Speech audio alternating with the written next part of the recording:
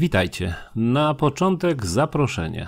Zaproszenie na warszawskie targi egzotyczne, które odbędą się 3 września tegoż roku. Adres i godzinę otwarcia widzicie na zdjęciu. A teraz dobierzmy się do mięcha. Dziś pierwszy film z serii co najmniej pięciu. Film o roślinach zamieszkujących konkretne kontynenty. Filmy te nie będą odzwierciedleniem jakiejś mojej ogromnej wiedzy na ten temat. Postanowiłem jednak zebrać w pigułce wiedzę zaczerpniętą z różnych opracowań, aby dać Wam możliwość łatwego znalezienia informacji, jeśli takowe biotopowe akwarium chcielibyście urządzić. Oczywiście w naszych akwariach wielokrotnie miesza się rośliny z różnych kontynentów dla uzyskania efektu wizualnego. Natomiast jest sporo pasjonatów biotopów szukających ciągle tej samej informacji, czyli jakie rośliny rosną w konkretnej lokalizacji. I nie chodzi o prawobrzeżną część Ochni w Kutnie. Nie omówię na razie roślin tubylczych, czyli europejskich. Skupimy się na roślinach i akwariach tropikalnych, czyli roślinach Azji, Ameryki, Afryki i Australii. Nie będę omawiał poszczególnych gatunków, a całe rodzaje roślin, bo sama Nubias ma tylko 8 gatunków, podaje za Wikipedią, a i tak co chwilę odkrywane są nowe albo mieszane jest w nazywnictwie. Takie szczegółowe informacje pojawią się pewnie w innym terminie, w innym filmie, moim albo innego zdolniejszego akwarysty. Wstęp był krótki, mam nadzieję, że nie znudził. A teraz przejdźmy do rzeczy. Pierwszym kontynentem, o którym chciałem powiedzieć, a raczej o roślinności, która na tym kontynencie występuje, jest Afryka.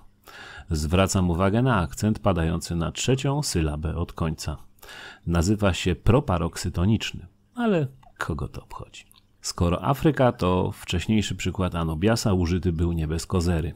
Wiem, używam słów ze średniowiecznego słownika niepoprawnej polszczyzny. Kozera to inaczej powód, choć początkowo oznaczał gracza i szulera. Potem był redaktor Kozera, który za czasów PRL-u prowadził dziennik telewizyjny. Cały czas myślałem, że bez Kozery oznacza bez niego i nie mogłem tego zrozumieć. Dobra, dosyć o wykopaliskach z minionych epok.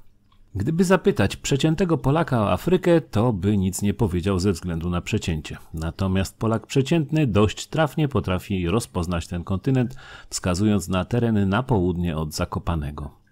Udaje mu się pokazać nawet dalekie południe. Zapytany zaś o to, z czym kojarzy się Afryka, odpowie, że z czarnymi ludźmi i z kupą piachu.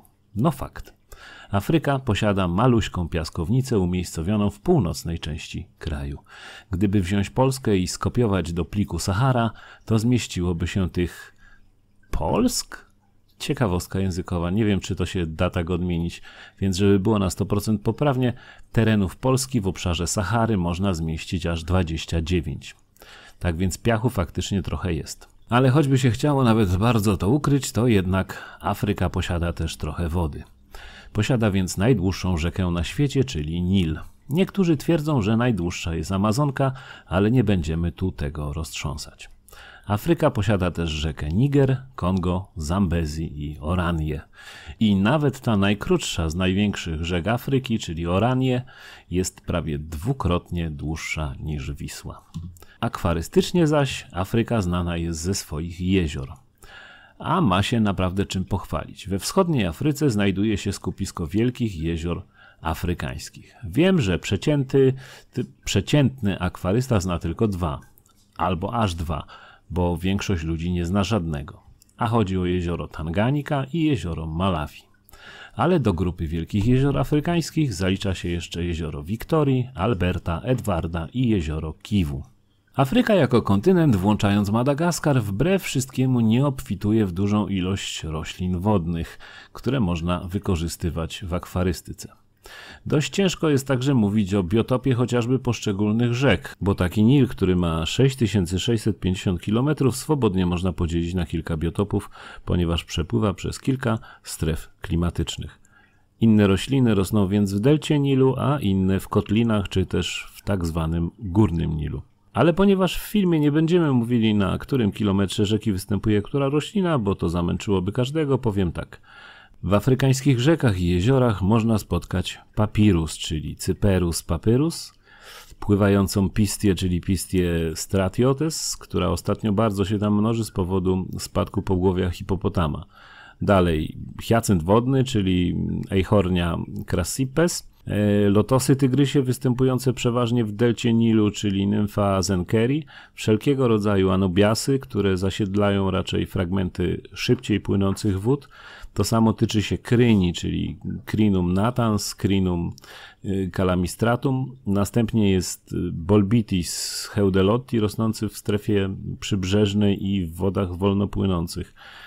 Y, te znane i pogardzane czasem paprocie wodne, czyli Ceratopteris cornuta i Ceratopteris tchalictroides, też pochodzą z Afryki.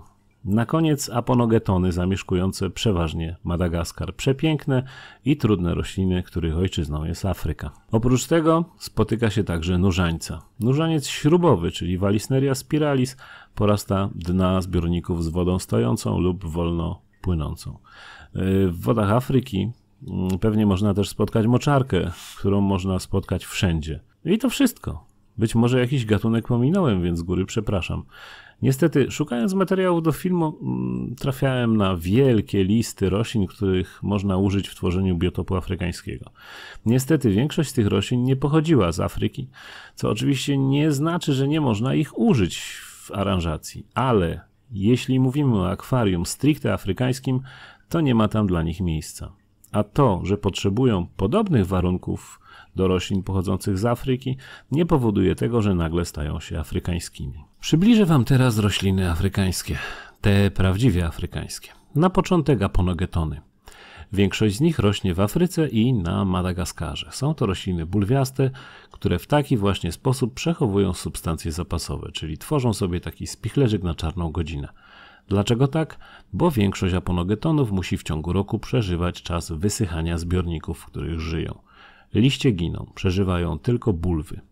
Jak dostaną z powrotem wodę, czyli zostaną zalane, wręcz natychmiast wypuszczają liście i starają się wydać nasiona, tak aby zdążyć przed kolejną suszą. No i to jest problem w akwarystyce. Okresy spoczynku aponogetonów mogą trwać nawet kilka miesięcy. Nie można w tym czasie podziwiać rośliny, bo w podłożu jest tylko bulwa. Nie jest to więc roślina dla niecierpliwych, natomiast wygląd aponogetonów rekompensuje czekanie. Aponogetonów jest sporo. Niektóre nie nadają się do uprawy akwarystycznej, bo okres spoczynku wynosi przykład 9 miesięcy, a i poród jest wątpliwy, bo taki aponogeton wytwarza tylko liście nadwodne. Oczywiście, jeśli ktoś lubi, może spróbować uprawiać takiego aponogetona, ale dla większości jest nieprzydatny. Kolejnym problemem jest rozmnażanie aponogetonów. Niestety, większość mnoży się z nasion, a tylko nieliczne mogą być mnożone przez podział. Generalnie, powtarzam, generalnie aponogetony nie wymagają jakiejś bardzo zasobnej wody. Za to uwielbiają wodę czystą, miękką i zasobną w dwutlenek węgla. Oświetlenie od średniego po wysokie, temperatury w okolicach 22-27 stopni Celsjusza. Dla każdego gatunku te wymagania mogą się różnić, więc decydując się na jakiś, należy o nim poczytać albo popytać jakiegoś miłośnika aponogetonów. Pistia. Odsyłam do mojego filmu o pistiach po więcej szczegółów. Teraz w skrócie. Roślina pływająca, lubiąca dużo światła i sporą wilgotność powietrza nad taflą temperatury 25-27 stopni Celsjusza.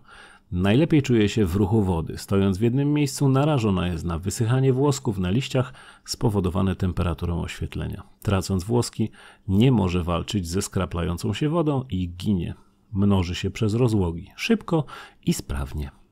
Papirus. Akurat tych roślin raczej nie uprawia się w akwarium. Natomiast mówię o niej, bo mogą być wykorzystywane w paludarium, a ten sposób zagospodarowywania nadwodnej części zbiornika jest coraz bardziej popularny. Rośliny z gatunku Cyferus to rośliny błotne. Wymagają dobrej gleby w podłożu, temperatury 22-25 stopni Celsjusza i dużej wilgotności powietrza. Hiacynt wodny, czyli Eichhornia crassipes. Nie jest to roślina, która, że tak powiem, zrodziła się w Afryce. Została przytachana w teczce w 1930 roku i zajęła rzeki Kongo i Biały Nil. Roślina rosnąca w błocku. Może pływać lub przy niskim stanie wody ukorzeniać się. Tworzy dywany, które w warunkach naturalnych tamują żeglugę. Kiepska roślina do akwarium, ale uprawiać ją można. Wymaga bardzo dużo światła, temperatury 20-26 stopni Celsjusza. Ma bardzo fajny kwiatek i fioletowe korzenie. Lotos tygrysi, czyli Nympha azenkeri. Odsyłam również do swojego filmu o lotosach. Uprawia się dwie odmiany zieloną i czerwoną. Wbrew szeptanym informacjom, roślina wcale nie jest tak ciężka w uprawie, nie wymaga super podłoża. Zresztą zależy co kto lubi. Jak da mu się zasobne podłoże, będzie się bardzo szybko rozwijał, ale i często wytwarzał liście pływające, które zasłaniają światło i jednocześnie nieucinane prowadzą do likwidacji liści podwodnych. Z drugiej, a nawet trzeciej strony, pozostawienie tych liści spowoduje zakwitnięcie lotosa, więc co kto lubi. Wymaga sporo światła i to w okolicach 12 godzin na dobę. Oczywiście to są dane starające się powtórzyć warunki naturalne. Przy mniejszym oświetleniu też się udaje. Woda nie ma dla niego większego znaczenia. Temperatura w okolicach 20-30 stopni Celsjusza. Anubiasy, czyli plastikowe rośliny. Gdzieś już wspomniałem, że kiedyś czyściłem im liście wodą z mydłem i szczotką, bo myślałem, że są sztuczne. Są to rośliny o średnim tempie wzrostu, ale też bardzo trwałe. Jedyne co ich przeważnie dotyka to plamki zielonych glonów osadzających się na liściach. W związku z tym, że są to rośliny rosnące w szybkim nurcie wody, wykształciły mocne korzenie, którymi chwytają się czego popadnie, aby nie odpłynąć. Chwytają się więc skał, drewna, korzeni, jak i podłoża. Do tego dochodzą twarde, mięsiste liście, które trudno uszkodzić. Wręcz idealna roślina dla słabo oświetlonych zbiorników i do biotopu afrykańskiego. Anubias wytrzymuje temperatury od 20 do 30 stopni Celsjusza i jest ciężki do zajeżdżenia przez ryby. Mnoży się go przez podział kłącza i nie należy tego kłącza pakować pod powierzchnię podłoża. Bardzo atrakcyjna propozycja dla tych, którzy nie lubią za dużo grzebać i przycinać roślin. Krynia. Crinum calamistratum. Przeważnie spotykana w Kamerunie. Kolejna powolna wzrostowo roślina, ale znacznie trudniejsza od Anubiasa. Jej problem to adaptacja do nowych warunków. Nienawidzi przesadzania i uszkadzania korzeni. Źle czuje się też w płytkich podłożach. Woda miękka lub twarda, temperatura 23-26 stopni Celsjusza. Daje radę w średnim oświetleniu. Bardzo lubi rosnąć w nurcie wody. Powinna być sadzona osobno. Akwarium powinno być wysokie. Przesadzona bardzo ciężko się adaptuje do nowych warunków. Mnożymy ją przez cebule przybyszowe. Jak ktoś lubi szybkie rośliny, to na kryni się zawiedzie. Bolbitis, czyli Bolbitis heudelotti, to ciemnozielona paproć. W zasadzie można by powiedzieć, że to taki anubias o postrzępionych liściach. Rośnie wolniej od anubiasa i jest bardziej kapryśna. W naturze dorasta do 50 cm, w akwarium jest mniejsza. Lubi piaszczysto-kamienne podłoża. Przeważnie sama chwyta się skał lub korzeni za pomocą korzeni wychodzących z kłącza. Woda średnio twarda o temperaturze od 14 do 26 stopni Celsjusza. Oświetlenie, podobnie do Anubiasa, preferuje średnie, najlepiej półcień. Mnoży się ją przez podział kłącza, tak jak z Anubiasem, nie pakujemy kłącza pod powierzchnię podłoża. Ceratopteris, czyli różdżyca pospolita. Harry Potter to był pospolity różdżyc. Boże to siostra? Nie wiem, ale na pewno jest to chyba najbardziej znana paproć akwariowa. Może pływać, można ją sadzić w podłożu. Lubi miękką wodę, ale w średnio twardej da sobie spokojnie radę. Temperatura 22-26 stopni Celsjusza i dość dużo światła. Ponieważ porasta raczej wody stojące, woli starą wodę w akwarium, czyli niezbyt często podmienianą. Wtedy rozrasta się do pokaźnych rozmiarów. Na brzegach liści wyrastają młode rośliny, które bardzo często sadzi się zamiast rośliny matecznej, kiedy ta stanie się już zbyt duża. Niektórzy twierdzą, że nie daje się jej posadzić. Fakt, lubi wypływać, ale nigdy nie mów nigdy. Lekko przyciśnięta kamieniem świetnie się ukorzeni. I na koniec Walisneria spiralis, czyli jedna z najpopularniejszych trawek w akwarium. W naturze występuje w wodach stojących i wolno płynących, tworząc dywany na sporej nawet głębokości. Lubi sporo światła i dość twardą wodę. Dobrze się sprawdza w akwariach, gdzie używa się skał wapiennych. Rośnie bardzo szybko i jest bardzo ekspansywna. Woli raczej niższe temperatury, między 17 a 24 stopnie Celsjusza. Przy wyższych temperaturach rośnie znacznie słabiej. No i to by było wszystko, co w skrócie można powiedzieć o wodnej roślinności afrykańskiej. No niestety, Afryka w akwarystyce to ryby. Rośliny schodzą na drugi plan, a może i na trzeci. Najpopularniejsze mm, akwaria afrykańskie to biotopy jezior Malawi i Tanganika. A nie zagłębiając się za bardzo w tematykę, takie zbiorniki ciężko nazwać roślinnymi. To przeważnie skały, piach i jeszcze raz piach i skały. Do tego sporo muszli i piachu i skał i piachu i... Wiem, zaraz powiecie, że nie lubię Malawi i Tanganiki. A właśnie, że bardzo lubię i pewnie sobie takie akwarium kiedyś jeszcze sprawię, ze smutkiem spowodowanym brakiem roślin.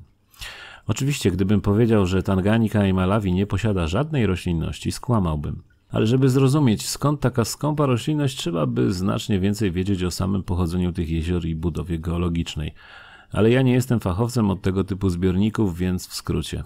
Taka Tanganika to podłużna dziura w ziemi głęboka nawet na półtora kilometra. Powstała w wyniku ruchów tektonicznych Ziemi. Leży w tak zwanym Wielkim Rowie Zachodnim. No a sami mi powiedzcie, co może wyrosnąć w rowie? G glony.